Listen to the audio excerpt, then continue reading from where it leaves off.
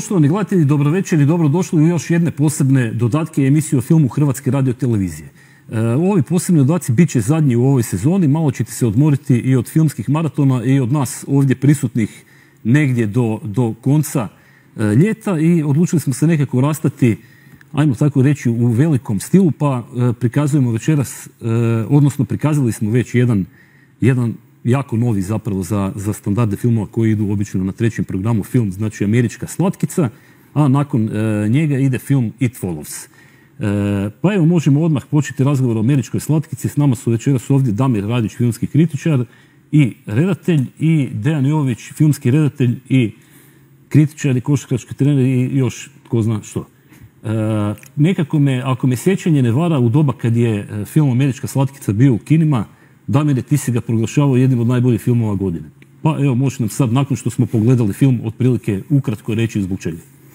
Pa meni to nije bio samo najbolji film te godine, nego bih rekao da je film desetljeća i film stoljeća, 21. I jedan od meni uopće naj, najomiljenijih filmova u životu, kao i nadolazeći It Follow. E, iako je American Honey jači film bez ikakve sumnje.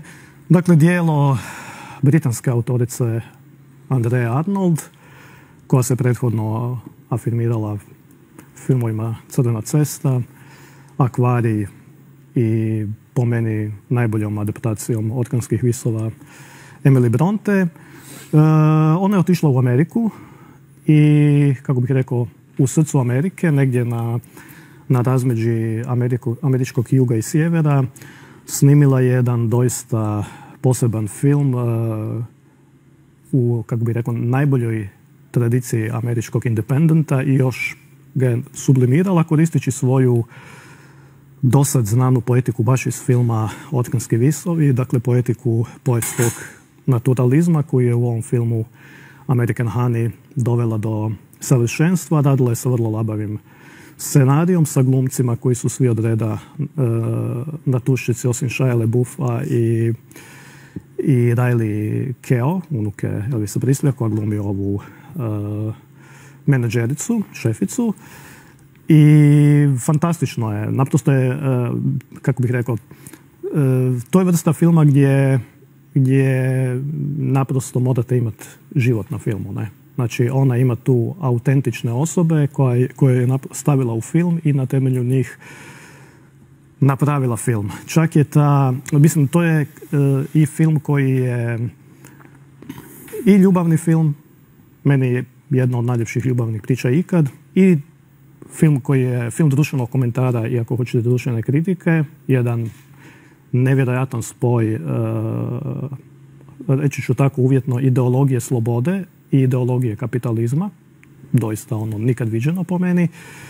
Uh, I isto tako, dakle film o američkom snu također, i isto tako film jednog, kažem, nevjerojatnog stilskog izgaza i u smislu narativne fragmentacije i u smislu e, poezije koja se može pisati filmskom kamerom. Što smo i prije znali, u ovom filmu je dovedeno do, jednih, do jednog od vrhunaca, rekao bih, u cjelokupnoj povijesti kinematografije. Uh, mogu se ja nadovezati na Damira. Uh, samo da napomenem da to nije njen prvi dolazak u Ameriku, naime ona je studirala u Americi. Mhm. Ali prvi filmsko Prvi američki film, ali hoću reći da je već dodir s američkom kulturom ovaj, i životom imala i ranije. E, dijelim sa Damirom oduševljenje autoricom e, Andreom Arnold. Mislim da je riječ o briljantnoj autorici, ali ne baš i e, filmom American Honey. Mislim da je to njen najslabiji film. Film je dobar, ali meni osobno najslabiji. Slažem se da je poetiku uspjela prenijeti iz svojih britanskih filmova, ali e, za mene osobno njen najbolji film je kratki film, uh, kratki film Osa ili Pčela, za koji je dobila Oscara, gdje mislim da je... Je li Osa ili Pčela? ja nisam gledao film tako. Uh, nije, nije ni toliko bitno. Na postojećoj kopiji dotična životinja je toliko mala da je teško raspoznati da, da li Dobro, nije, nije bitno. Mislim da, je, mislim da je u tom kratkom filmu sve, sve te njene karakteristike koje ste govorio sublimirala u jedan fascinantan film. Mislim, ja, ja u životu nisam gledao bolji kratki film od toga. A kasnije u drugim filmovima je prepisala tu poetiku, ali mislim da meni osobno se čini da uh, ima mali, ne, ne bi čak rekao problem sa filmskim vremenom. Znači ona jednostavno filmsko vrijeme ne uzima kao kao nešto opterećujuće. Znači, svi njeni filmovi traju koliko traju. Tako i treba. E, I ovaj, da se vratim zapravo na drugi njen najbolji film, to je Fish Tank. Znači, Fish Tank je Andrea Arnold što ona zaista jest. Znači, proučavajući njenu biografiju, to je ona. Znači, ona dolazi iz takve disfunkcionalne obitelji, ona je imala majku koja je imala 16 godina kad je rodila, ona dolazi iz vrlo siromašne sredine i to je, to je njen život na ekranu. American Honey je film u kojem je ona, kažem, uspjela sve to prebaciti na američko, na američko tlo, ali meni, osobno, meni osobno su, ovi ti, su ti njeni engleski filmovi, filmovi puno draži. Da kažem nešto o njenom poetskom prosideu o kojem ste već govorio, znači ona ona radi po kronološkom redu, želeći... Znači, Misliš kad snima film, kronološki, kronološki snima, da, da film, to je prvo, drugo daje glumcima uh, tekst samo za, za dan snimanja koji je na redu, znači želi, ono što ona želi postići je apsolutna autentičnost. I, I, tu je vrlo, tu je vrlo jaka. Znači kad gledaš njegov film, tu su naravno i kamera iz ruke, apsolutno kamera iz ruke. I sad postoji nešto zapravo kod nje što je jedna apsolutna nadgradnja imamo sam priliku u dva dana pogledati sve što je ona snimila. Znači dva dana sam gledao apsolutno cijeli njen opus i došao sam do sljedećeg zaključka. Dakle, žena je poput ove glavne glumice u American Honey koja onu, dobije onu tekicu. Sasha Lane. Tako je, dobije onu tekicu i onda ju označi s onim zvijezdicama što je dobila od Lebufa, on je davne zvijezdice i ona stavi te zvijezdice kao nekakve znakove kao to sam ja. E, moja je teza da Andrea Arnold u svakom svom filmu postavila nekakve znakove koji zapravo predstavljaju nju, nju kao autoricu. To, to, je dovedeno zapravo do tolike razine da, da graniči sa eksperimentalnim filmom. Sad ću vam reći o čem se radi. Znači u svakom njenom filmu imate na desetke kadrova ptice u letu koje zapravo nemaju nekakve bitne, bitne veze sa, sa samim filmom, ali Naravno. nevjerovatno da u četiri filma za redom imate jedno od 80 do 100 filmova kadrova, uh, kadrova ptica u letu. To je prvi znak koji je postavilo. Drugi znak koji je postavilo su pčele ili muhe koje pokušavaju se probiti kroz prozor. Treći znak su, je, su kadrovi pasa, znači ono mm kojih ima preko 100 u četiri filma. Četvrti znak je e, vjetar, vjetar koji je izuzetno važan u sva četiri filma i peti znak je blato. E sad bi mogao ući u ovaj Ima leptira, ima, ima cvjetova, ali baš ovi znakovi. ima grančica. Da... Evo ja ću vam reći što ja mislim da predstavlja svaki od tih znakova. Mislim da je ptica u letu, znači njen krajnji cilj, to je sloboda, koju teže svi sve njezine junakinje, odnosno junaci, jer u orkanskim mm zapravo glavni junak ovaj, ovaj crnac. Znači, e, ptica u letu kao nekakva konačna sloboda kojoj teže ti njeni likovi. E, pčele i muhe su naravno zarobljenost u tim okolnostima u kojima se, u kojima se ti likovi koprcaju. Blato, da ne ekspliciram ista stvar. I vjetar, mukal. I vjetar koji šiba te junake i kojim se on jednostavno ne mogu suprotstaviti. Mislim, taj vjetar je vrlo zanimljiv jer ona, recimo u onom filmu Red Road, mm koji zapravo i nema nekog, ali ima jedna scena kad e, ona dođe u, tu, u taj visoki nebotir gdje živi ovaj junak kojega ona prati i ovaj kaže doći da nešto mi otvara taj prozor i onda ih šibnja taj vjetar. Mislim, ono, on jednostavno u svakom svom filmu nađe nešto da označi to kao nešto njoj važno. Jedno još nisam dokučio te pse, ali ovaj, imam i za to objašnjenje, to ćemo malo kasnije. Dakle, e, to, nije, to nije slučajno. Znači, to je kao u eksperimentalnom filmu. Imate jedan kadar koji sam za sebe ne znači ništa, a kad ga ponoviš sto puta, on dobije značenje. Znači, jednako tako smatram da su ti, ti znakovi koje on ostavlja po svojim filmovima tim svojim ponavljanjem, ne samo unutar jednog filma, nego unutar svakog njenog filma, znači praktički ovaj, e, kroz opus, predstavljaju taj njen autorski pečat koji je po meni na razini eksperimentalnog filma i mislim da to nju diže tri stepenice više iznad većine modernih autora.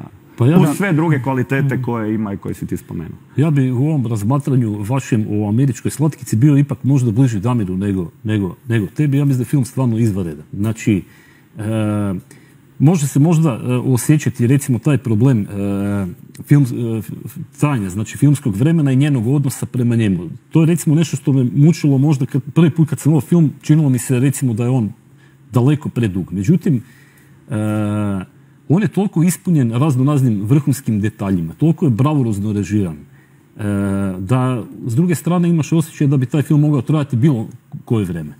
E, to je nešto što se vuče kroz njene neke, kroz sve zapravo njene filmove, čak i ovaj kratki film je možda za koju minuticu tako recimo ovo. Međutim, to je omogućava s druge strane ono što, ono što e, zapravo već dugo u igranom filmu ne vidimo, vidimo u, u serijama. Znači da vidimo te nekakve prodore svakodnevnog života i, i stvari koje su nevezane uz samu osnovnu nekakvu fabularnu liniju. Znači mi vidimo kako, što, što ljudi jedu, što piju, kako im izgledaju frižideri.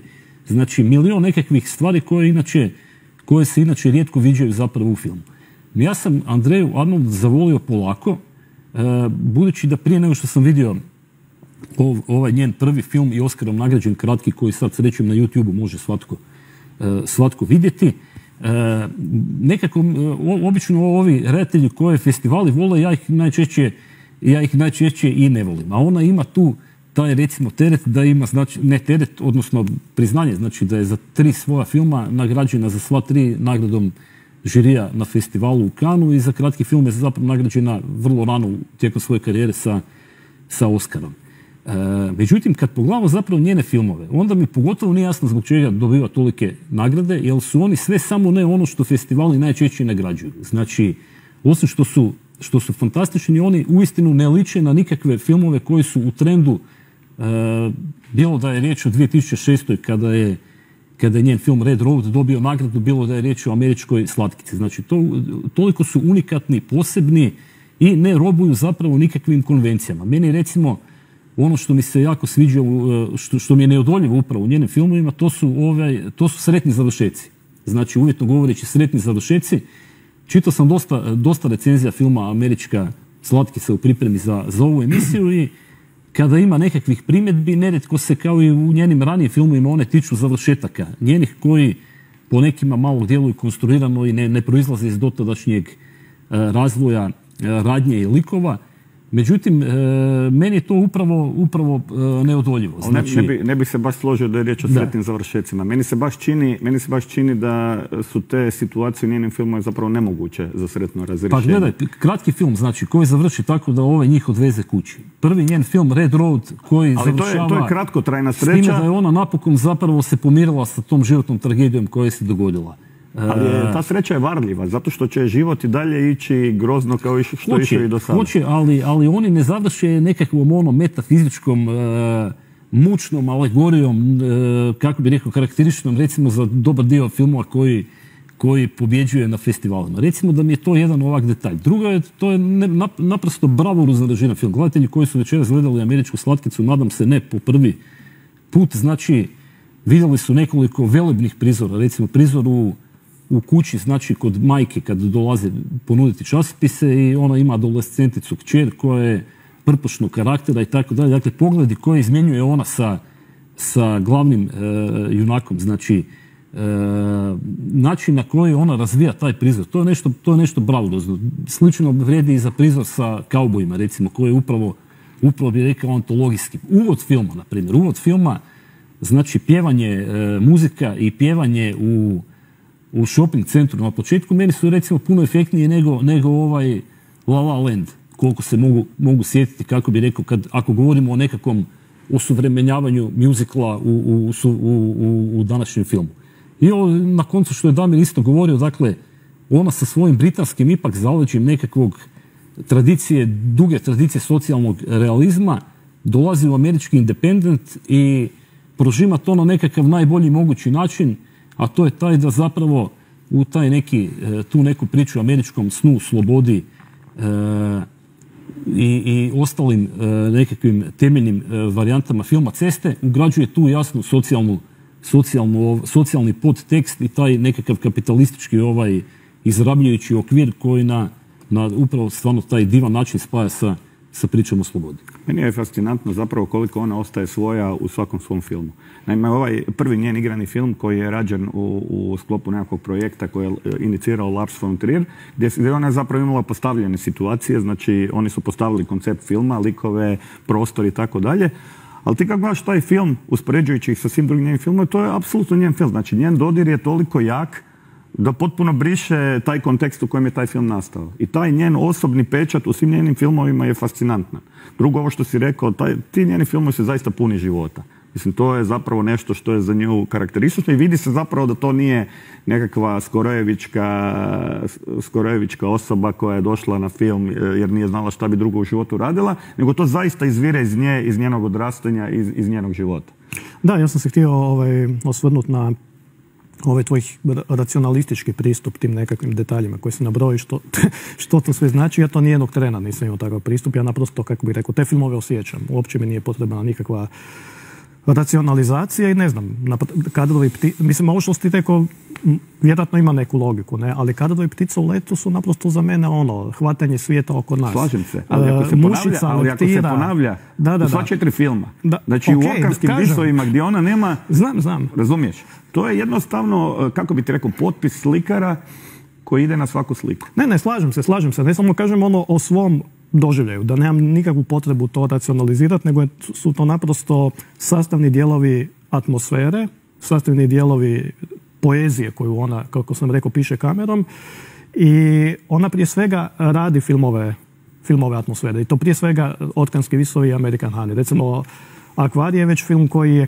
kako bi rekao, jače strukturiran, tu su jači. ne, bi, ne bi rekao. Ne ja, bi ja bih rekao. Ne. Ja, ne, nema je. Kod nje nema priče. Uh, je, ali... Praktički nema priče ni u jednom filmu. Samo je, svi su epizodični, svi se sastoje od nekakvih situacija, ne, ali, kako bih rekao, do, u American Honey to dolazi ja mislim puno više do izražaja, vjerojatno i zato što film toliko dugo traje. Ja od prvog gledanja nisam imao nikakav problem sa trajanjem, a sad kad sam ga gledao u pripremi emisije mi je prošao ono, u, u trenu, nikakav, nikakav problem sa trajanjem, ali postoji još jedna stvar koju sam htio istaknuti da ona radi jednu, ali apsolutno neuobičajenu stvar, jedan radikalni potez u American Honey.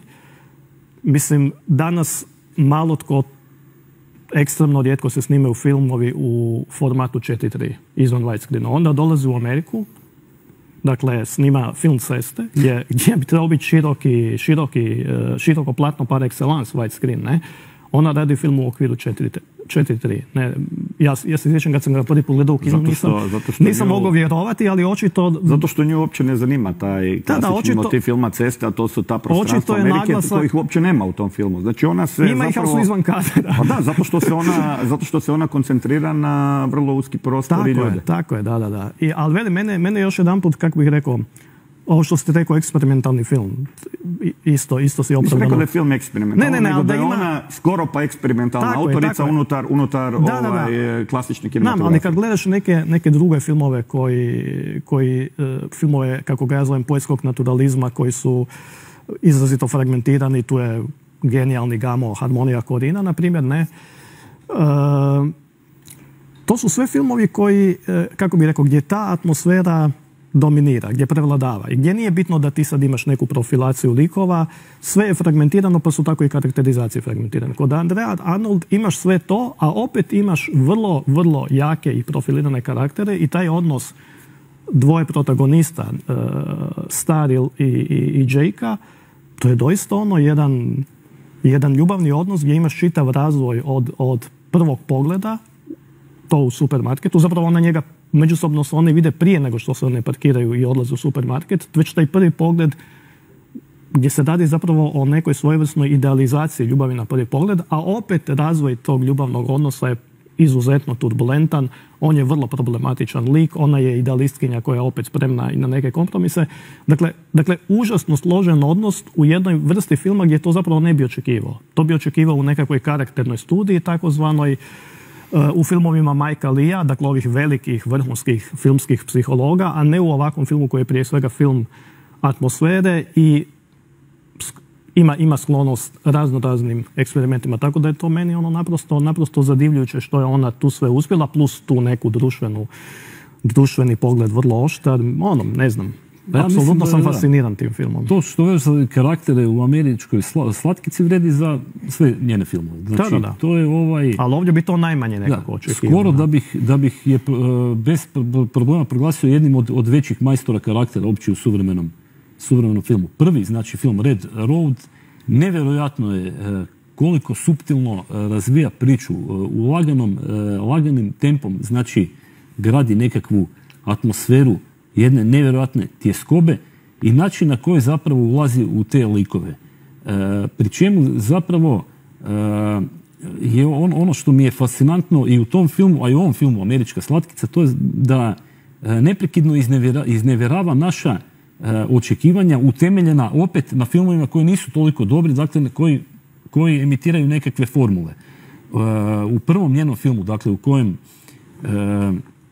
u, kojem glavna junakinja polako počinje obsjedati čovjeka koji je skrivio njenu životnu tragediju, dakle ti očekuješ cijelo vrijeme cijelo vrijeme zapravo očekuješ da je taj čovjek čovjek e, krivac, da je on e, nekakvo zlo, utjelovljenje zla e, i slično. Dakle, nešto što smo vidjeli u milion drugih filmova. Međutim, na koncu kako se film rasplete, mi više uopće nismo sigurni ko je tu kriv, ko je, ko je krivac, ko je žrtva. Dakle, on u svojoj nekoj slojevitosti, opet s druge pogotovo podcrtam tim nekakvim socijalnim kontekstom, prikazom milija iz kojeg dolazi obiteljskih i nekakvih okolnosti, tako dalje, manje više skoro da, da odnese pobjedu nad njom, recimo, u smislu nekakvog, nekakvog morala.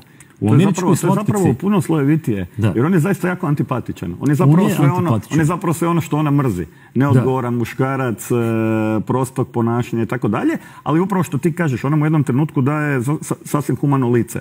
I to je, zato je to još slojevitije, on je izrazito antipatičan lik. Mi u stvari želimo da ga ona tamo, ne znam, ili kastrira ili nešto, a sad se to sve preokrene. Ovo što smo pričali recimo za, za američku slatkicu, dakle isto u, u, nizu prizora, e, prizora recimo sa kaubojima, dakle, e, očekuješ, e, budući da si to vidio u, u mm. XY filmova, da će oni nju zlostavljati, ne znam, silovati, zarobiti. na kraju oni bivaju Što znači, na kraju oni bivaju žrtve. E, imamo varijantu isto sa ovim čovjekom koji je koji se bavi naftom, ne.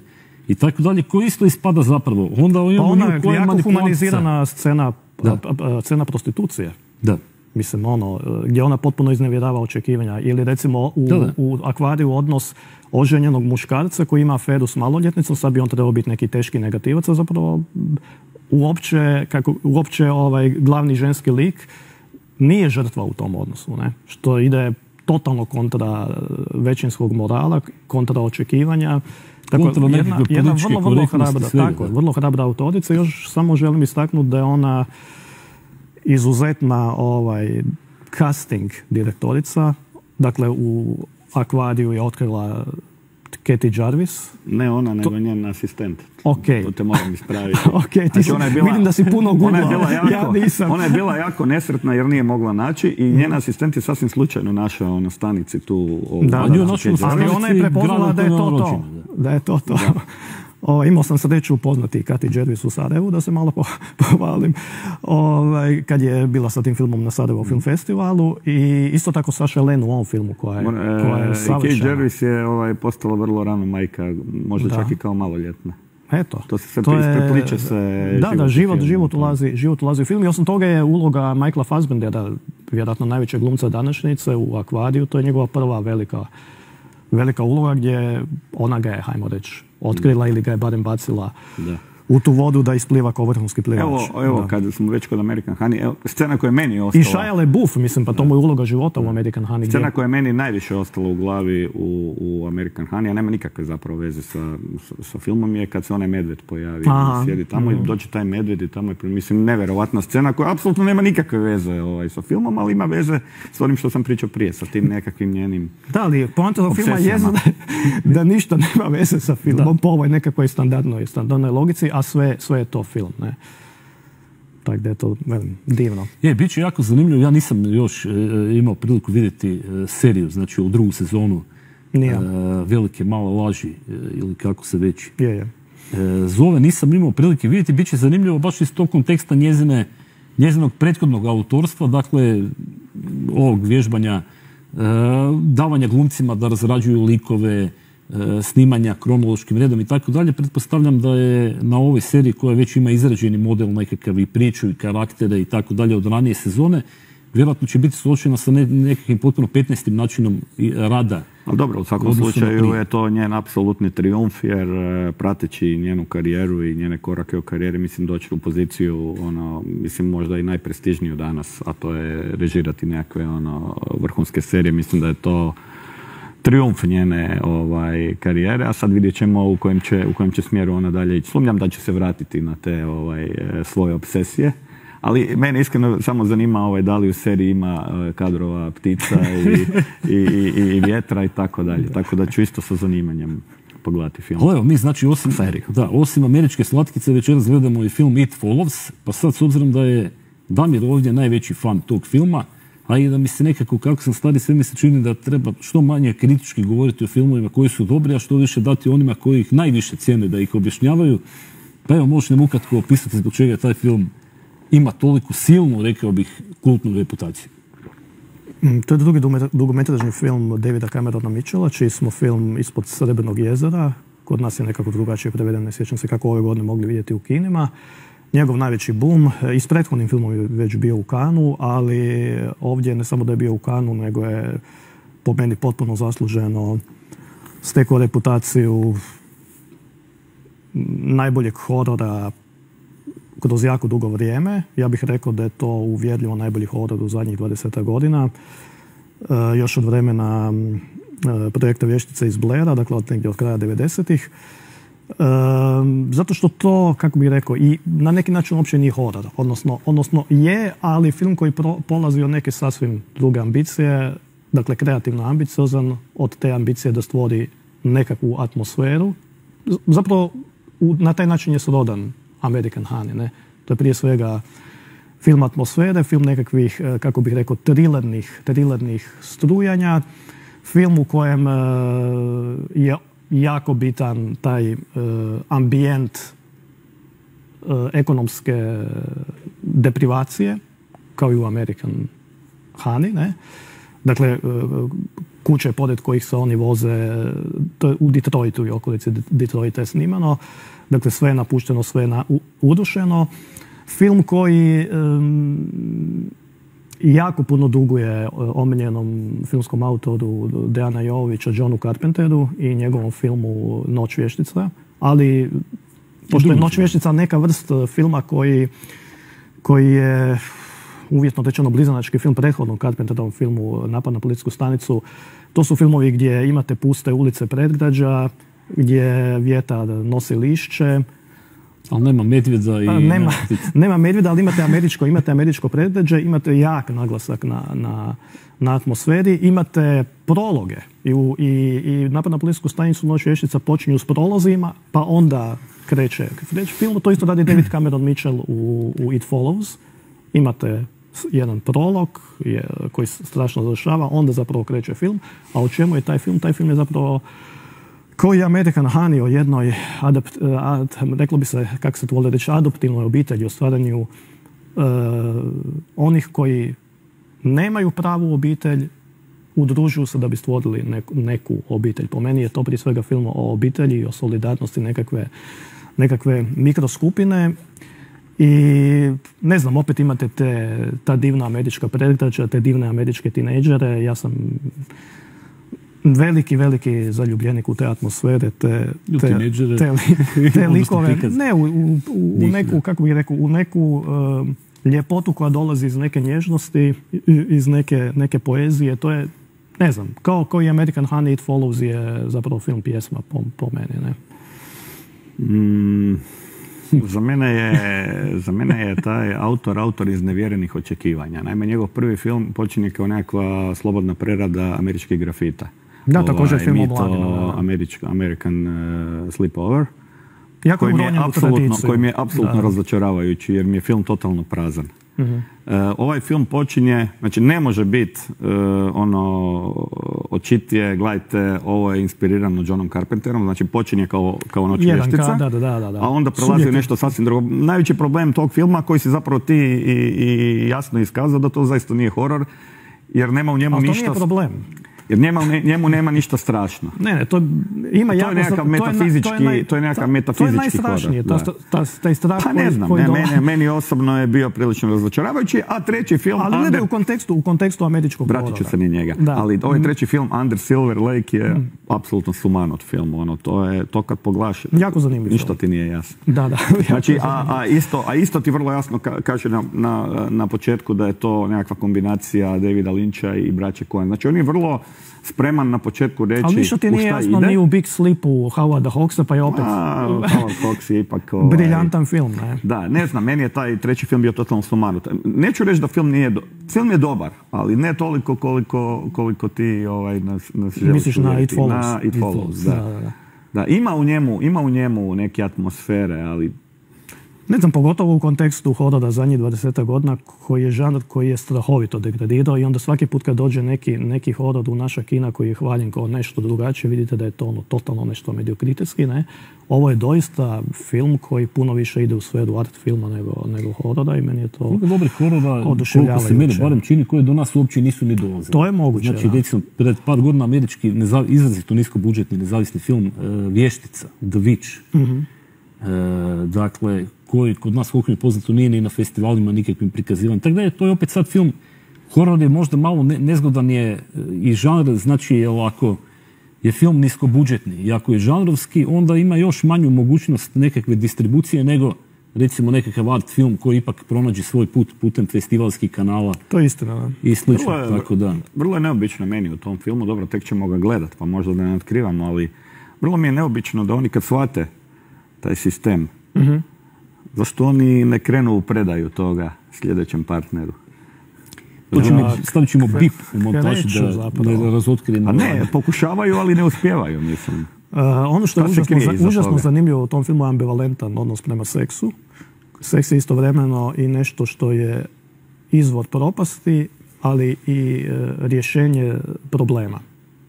Dakle, istovremeno se, kako bih rekao, Ali i, oni taj problem i ne kritizira i afirmira. Ali oni taj problem ne rješavaju. A, mi pa- smo pa- uvjereni, pa- mi smo uvjereni da će ovaj, onaj zgodni lik sad to prenijeti nekom drugom, a onda shvatimo da ne prenese. Ne, ne, ne, a ima, ima i scena, mislim, ne, gdje ona ulazi u vodu i odlazi nekim ljudima na, I shvatimo na poslije da ništa od toga nije ne bilo. znamo, ne, Ne, znamo, znamo, šta, znamo, šta jer i dalje prati nju, a ne uopće drugog. bilo, mislim. Shvatimo da nije ništa bilo, jer Da, i da, dalje da, prati ali, nju. ali, ali način na koji on to uopće prikazuje, način gdje radi, gdje radi rez i kako to kontekstualizira, meni, meni to meni to sjajno i, i Ima on stila, I jako ne, mi je, jako mi je on lijep definitivno kraj filma, ima stila. Taj kraj filma sa On definitivno ima Neću reći stila, koji je kraj, ali vidjet će Da. On definitivno ovaj. ima stil, ali po mom mišljenju još sa tim stilom ne zna, ne zna šta bi. Dobro, Pa bilo- najvažnije je imati stila, ovo ostalo će Ovo će doći sa vremenom. Bilo kako, bilo uži- e, gledatelji će nadam se uživati, a ako ne u sadržaju, onda u stilu, a vjerujem i u jednom i u drugom od filma, znači It Follows. A mi ćemo se oprostiti, znači za ovu sezonu možemo e, završiti ipak e, optimistično e, e, govoreći o jeseni, pa reći da ćemo nastaviti sa ovakvim maratonima i diskusijama. Pored ostalog, bit će filmski maratoni i emisije o Polu Verhovenu. Vjerujem da ćete obadvojica biti zainteresirani ovaj, gostovati u toj emisiji. Bit će emisija o Nilu Jordanu, bit će vjerojatno negdje oko Zagreb Film Festivala kad bude se o tome puno govorilo. Bit će jedna emisija, maraton prvih filmova, znači pri čemu ćemo prikazati recimo film Pi, na primjer, e, pa ćemo prikazati film e, Dark Star Johna Carpentera, također vjerojatno i trgovce Kevina Smitha. Znači, bit će dosta zanimljivi filmski večeri, pa nadam se da ćemo se nastaviti i na jesen družiti u ovakvim sličnim okolnostima.